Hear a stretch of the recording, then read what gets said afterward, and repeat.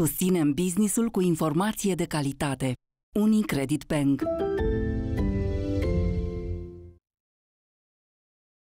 Paradoxal, în plină criză, de altfel în pline crize, 2022 va fi cel mai bun an economic din istoria României.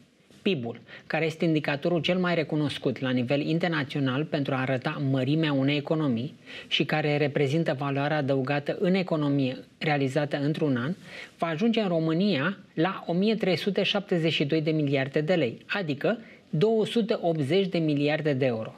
În 2021, PIB-ul a fost de 240 de miliarde de euro, iar în 2020 PIB-ul a fost de 220 de miliarde de euro. Ca să fim corecți, trebuie să spunem că această creștere a PIB-ului în euro de 16% din acest an se datorează stabilității cursului valutar la 4,9 lei pentru un euro. Deși Isărescu contribuie la această creștere în euro a PIB-ului. În lei, PIB-ul crește din inflație și din această creștere economică pe care lumea o pune la îndoială pentru că nu se vede. Dacă avem această creștere spectaculoasă a PIB-ului în euro, atunci și companiile vor avea un an economic bun ca cifră de afaceri, pentru că PIB-ul vine din ceea ce produc companiile, din valoarea adăugată pe care o lasă acestea în economie într-un an.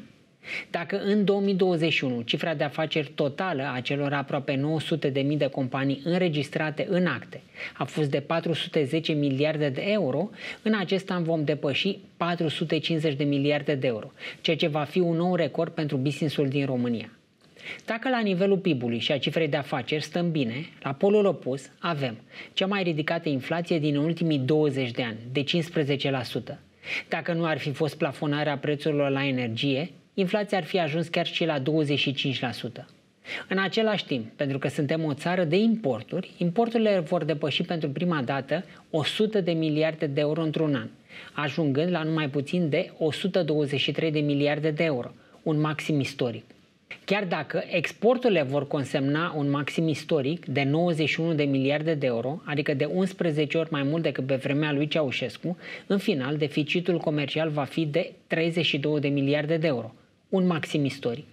2022 va fi anul maximelor economice și a celor cu plus și a celor cu minus. Dacă adăugăm atacul rușilor asupra Ucrainei din februarie, care a declanșat un război pe care nimeni nu credea să-l mai prindă în această viață în Europa, avem un maxim geopolitic, dar în sens negativ. Așa că 2022 este un an extrem de interesant, mult prea interesant, aș putea spune, la extreme, cu prețurile la energie pe care nu le poate plăti nimeni, un an care încă nu s-a terminat. În business e important să iei decizii informate. Nu rata următoarea emisiune. Unicredit Bank